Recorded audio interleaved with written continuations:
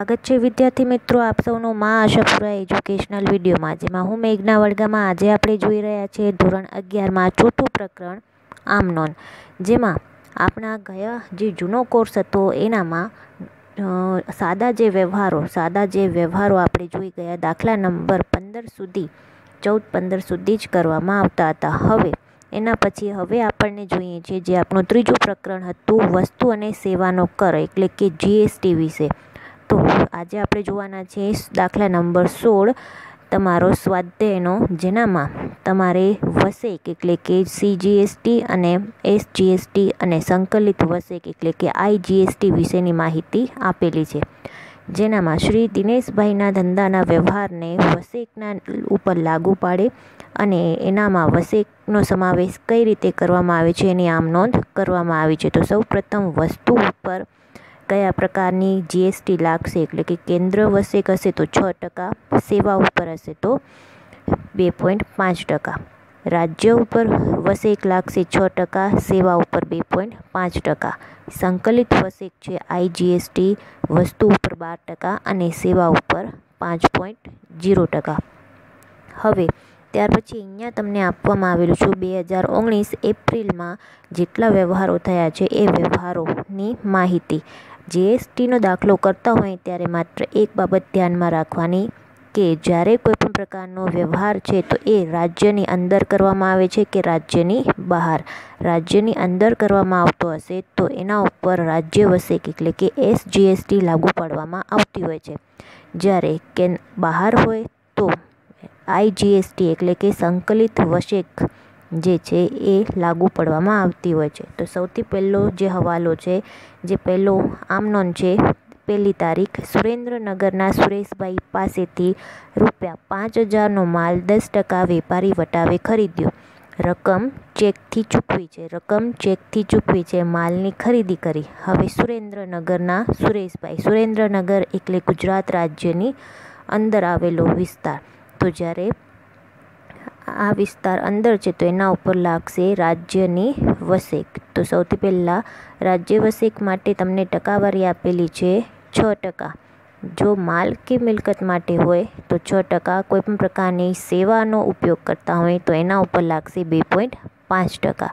તો એની આમનોંધ જે આમનોંધ કરવામાં આવશે સૌથી પહેલું છે ખરીદ ખાતે ઉધાર વસ્તુ ખરીદ્યો છે. એટલે કે ખરીદ ખાતે ઉધાર કેટલા આવશે? એના પચાસ હજાર ગુણ્યા દસ ટકા. દસ ટકા વેપારી વટાવ છે જેની ચોપડે નોંધ કરવામાં આવતી નથી. પાંચ હજાર ગુણ્યા દસ ટકા એટલે કે પાંચ હજારનો વેપારી વટાવ પહેલેથી બાદ બાદ કરી લેવો તો મળશે પચાસ હજાર માઇનસ પાંચ હજાર એટલે પિસ્તાલીસ હજાર. તો ખરીદ ખાતે ઉધાર પિસ્તાલીસ હજાર. આવક કેન્દ્રીય વસેક વસ્તુની ખરીદી કરીને જે વસ્તુ આવે છે, એટલે કે અહીંયા આવક પૂરતી કેન્દ્રીય વસેક ઉપર છ ટકા લેખે પિસ્તાલીસ હજાર એના ગુણ્યા છ ટકા કરશો એટલે મળશે સત્યાવીસો. આવક પૂરતી રાજ્ય વસેક ખાતે ઉધાર પિસ્તાલીસ હજાર ગુણ્યા છ ટકા એટલે મળશે સત્યાવીસો બે હજાર સાતસો. તે ચેકથી ચૂકવીએ છીએ બેંકમાં રકમ આવે છે, એટલે કે આ રોકડ આવે તો જમા. તે બેંક ખાતે ત્રણેય રકમનો ટોટલ પચાસ હજાર ચારસો. બાબત જે વ્યા વસેક સાથે માલની ખરીદી કરી તેના. ત્યાર પછી બીજું છે તારીખ ચાર, વારાણસીના. સૌથી પહેલાં વારાણસી એટલે કે રાજ્યની બહારનો હવાલો. વારાણસીના ઉત્તર પ્રદેશ વિષ્ણુભાઈ પાસેથી ચાલીસ હજારનો માલ દસ ટકા રોકડ વટાવે ખરીદ્યો. રોકડ વટાવે અહીંયા વસ્તુની ખરીદી કરવામાં આવે છે. તો અહીંયા આવશે સૌથી પહેલાં ખરીદ ખાતે ઉધાર. કેટલું છે? દસ ટકા રોકડ વટાવથી. તો ખરીદ ખાતે ઉધાર ચાલીસ હજાર. આવક સંકલિત વસે ખાતે. આવકની, આવક પૂરતી સંકલિત વસેત એટલે કે જો રાજ્યની બહાર હોય તો આઈજીએસટી લાગુ પડે છે. આઈજીએસટીના બાર ટકા. એટલે કે ચાલીસ હજાર ગુણ્યા બાર ટકા કરશો એટલે મળશે ચાર હજાર આઠસો. તે વિષ્ણુભાઈ પાસેથી ખરીદ, ખરીદ્યો છે એટલે કે વિષ્ણુભાઈ માલ આપનાર છે, લેનાર ખાતે ઉધાર આપનાર ખાતે જમા. તે વિષ્ણુભાઈ ખાતે જમા. બંને રકમનું ટોટલ ચુમ્માલીસ હજાર આઠસો. ત્યાર પછી સાત તારીખનો વ્યવહાર છે. હિંમતનગરના હિમાંશુભાઈને સાઠ હજારનો માલ દસ ટકા વેપારી વટાવે વેચ્યો હિંમતનગર જે ગુજરાતની અંદર આવેલું છે, એટલે કે આ થયું રાજ્ય વસેક. હવે હિમાંશુભાઈને આપણે સાઠ હજારનો માલ વેપારી વટાવે વેચ્યો છે. તો એની આમ નોંધ થશે વ્યક્તિ ખાતું લાભ લેનાર ખાતે ઉધાર, એટલે કે હિમાંશુભાઈ ખાતે ઉધાર તે. હવે વેચાણ કર્યું છે. સાદી આમ નોંધ થાય હિમાંશુભાઈ ખાતે ઉધાર તે વેચાણ ખાતે જમા. પરંતુ આ જાવક કરી છે, માલની જાવક થાય છે, તો એના ઉપર છ ટકા લેખે જાવક પૂરતી વસેક લાગશે. તો હિમાંશુભાઈ ખાતે ઉધાર, દસ ટકા વેપારી વટાવ ખાતે ઉધાર. તે વેચાણ ખાતે જમા, વેચાણ ખાતે જમા ચોપનસો એટલે કે સાઠ હજારના દસ ટકા છ હજાર સાઠ હજાર માઇનસ છ હજાર એટલે મળશે ચોપન હજાર. તો વેચાણ ખાતે જમા ચોપન હજાર તે જાવક પૂરતી કેન્દ્રીય વર્ષે, જેના ઉપર છ ટકા લાગુ પડશે. તો ચોપન હજાર ગુણ્યા છ ટકા એટલે કે મળશે ત્રણ હજાર બસો ને ચાલીસ. તે રાજ્ય પૂરતી તે જાવક રાજ્ય વસેક ખાતે ત્રણ હજાર બસો ને ચાલીસ. આ પણ છ ટકા, ચોપન હજાર ગુણ્યા છ ટકા. આ ત્રણેય રકમનું ટોટલ થશે. હિમાંશુભાઈ ખાતે ઉધાર સાઠ હજાર ચારસો ને એંસી રૂપિયા. બાબત જે વસેક સાથે માલ વેચ્યો તેના. ત્યાર પછી અગિયાર તારીખનો સિમલાના હિમાચલ પ્રદેશના શશિકાંતભાઈને રૂપિયા પચાસ હજારનો માલ દસ ટકા વેપારી વટાવે ચેકથી વેચ્યું છે. હિમાચલ પ્રદેશ એટલે કે આ થયું રાજ્યની બહારનો વ્યવહાર. હવે અગિયાર તારીખમાં વેચ્યું છે અને શું કીધું છે કે ચેકથી વેચ્યું ચેકથી વેચ્યું એટલે કે બેંકમાં રકમ આવે છે. તો બેંક ખાતે સૌથી પહેલાં ઉધાર. તે માલનું વેચાણ કર્યું છે તો તે વેચાણ ખાતે જમા. હવે રાજ્યની બહારનો વ્યવહાર છે તો અહીંયા એક જ જીએસટી લાગુ પડશે જે આવશે સંકલિત વસેક. તો આખી આમ નોંધ થશે પચાસ હજારના દસ ટકા વેપારી વટાવે એટલે કે પાંચ હજાર બાદ એટલે કે પિસ્તાલીસ હજાર વેચાણ. હવે આખી આમ નોંધ થાય, બેંક ખાતે ઉધાર, તે વેચાણ ખાતે જમા પિસ્તાલીસ હજાર, તે જાવક પૂરતી સંકલિત વસેક ખાતે જમા ચાર હજાર પાંચસો એટલે કે બાર ટકા વસ્તુ ઉપર. તો પિસ્તાલીસ હજાર ગુણ્યા બાર ટકા એટલે કે પાંચ હજાર ચારસો. આ બંનેનો ટોટલ થશે બેંક ખાતે ઉધાર પચાસ હજાર ચારસો. ત્યાર પછી પંદર તારીખનો વ્યવહાર છે. વિષ્ણુભાઈને એક ચતુર્થાંશ ભાગનો માલ પરત કર્યો. વસેકને પ્રમાણસર રકમ મજરે મળી. મજરે મળી એટલે કે પાછી મળે છે. વિષ્ણુભાઈ ખાતે સૌથી પહેલાં તો ઉધાર. વિષ્ણુભાઈ સાથે આપણે વ્યવહાર કરેલો તો ચોથી તારીખમાં. ચોથી તારીખમાં એણે આપણે જે પણ માલની ખરીદી કરી હતી ચાલીસ હજાર, એમાંથી માલ એણે પરત કરેલો છે. તો જે પણ માર, માલ પરત થાય છે એના ઉપર આપણે એને એક ચતુર્થાંશ ભાગ રકમ પાછી આપશું. તો એક ચતુર્થાંશ રકમ જ્યારે પાછી મળે છે ત્યારે કેટલી મળશે પાછી? તો સૌથી પહેલાં જે એની ખરીદીની રકમ છે એ ધ્યાનમાં લેવાશે ચાલીસ હજાર. ચાલીસ હજાર ગુણ્યા એક ચતુર્થાંશ એટલે ચાલીસ હજાર ગુણ્યા એક છેદમાં ચાર તો મળશે દસ હજાર. તો ખરીદ પરત ખાતે આવશે દસ હજાર રૂપિયા.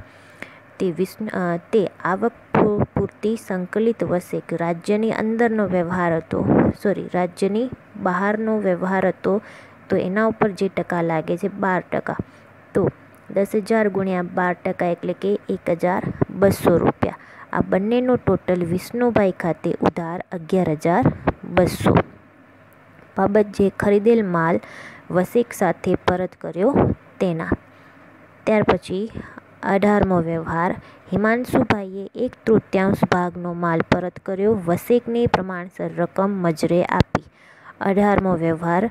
જે પણ વેચાણ કર્યું હતું એ વેચાણ પરત થાય છે. વેચાણ પરત હોય તો તે ઉધાર. હવે હિમાંશુભાઈ સાથે આપણે વ્યવહાર કરેલો હતો.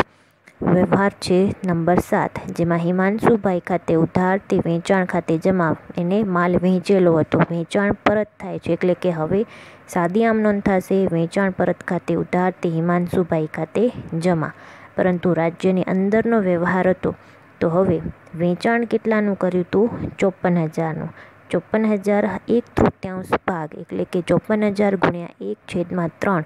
તો આપણને વેચાણ પરત મળશે અઢાર હજાર રૂપિયા. એના ઉપર રાજ્યની અંદર હોય તો છ ટકા. તો અઢાર હજાર ગુણ્યા છ ટકા કરશું તો એક હજાર એંસી. અને રાજ્ય પૂરતી જાવક પૂરતી રાજ્ય વસેક ઉધાર થશે એક હજાર એંસી. એ પણ છ ટકા.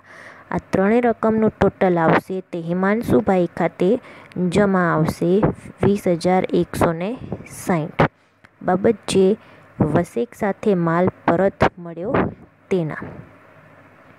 એના પછીનો વ્યવહાર છે. અમદાવાદના સૃજાનંદ ફર્નિચરમાંથી વીસ હજારનું એક કબાટ ઓફિસ માટે ખરીદ્યું. અમદાવાદ એટલે કે ગુજરાતની અંદરનો વ્યવહાર તો ખરીદી કરી છે, ફર્નિચરની ખરીદી કરી છે તો જે તે મિલકત ખાતે ઉધાર સૌથી પહેલાં હવે વીસ હજારનું ફર્નિચર ખરીદ્યું છે. તો ફર્નિચર ખાતે ઉધાર વીસ હજાર આવક થાય છે ફર્નિચરની, તો આવક પૂરતી કેન્દ્રીય વસેક વીસ હજારના છ ટકા એટલે આવશે એક હજાર બસો. આવક પૂરતી રાજ્ય વસેક ખાતે ઉધાર છ ટકા એટલે કે વીસ હજાર ગુણ્યા છ ટકા એ પણ એક હજાર બસો. ત્રણેય રકમનું ટોટલ આપનાર છે. આપનાર ખાતે જમા કૃત્રિમ વ્યક્તિ તે સૃજાનંદ ફર્નિચર માર્ટ ખાતે જમા. ત્રણેયનો ટોટલ આવશે બાવીસ હજાર ચારસો. છેલ્લું વ્યવહાર છે. દુકાન ભાડાના આઠ હજાર ચૂકવ્યા. દુકાન ભાડાના આઠ હજાર ચૂકવ્યા. કીધે અહીંયા જો કોઈ પણ પ્રકારનો ઉલ્લેખ કરવામાં ના આવ્યો હોય તો સમજવું કે રાજ્યની અંદરનો વ્યવહાર છે. તો જેનો વ્યવહારની નોંધ થશે દુકાન ભાડા ખાતે ઉધાર, હવે અહીંયા દુકાન ભાડા ખર્ચ છે એટલા માટે ઉધાર અને રોકડ જાય છે માટે જમા. રાજ્યની અંદર હોય તો જીએસટી લાગુ પડશે. હવે અહીંયા કઈ જીએસટી લાગુ પડશે? દુકાન ભાડું એક પ્રકારની સેવા પૂરી પાડે છે. તો એના માટે બે પોઈન્ટ પાંચ ટકા જીએસટી લાગુ પડશે. તો દુકાન ભાડા ખાતે ઉધાર ઉધાર આઠ હજાર. આવક પૂરતી કેન્દ્રીય વસેક ખાતે ઉધાર આઠ હજાર ગુણ્યા બે પોઈન્ટ પાંચ ટકા. એટલે મળશે બસો રૂપિયા. આવક પૂરતી રાજ્ય વસેક ખાતે ઉધાર આઠ હજાર ગુણ્યા બે પોઈન્ટ પાંચ ટકા. એટલે મળશે બસો. ત્રણેય રકમનું ટોટલ તે રોકડ ખાતે જમા આઠ હજાર ચારસો.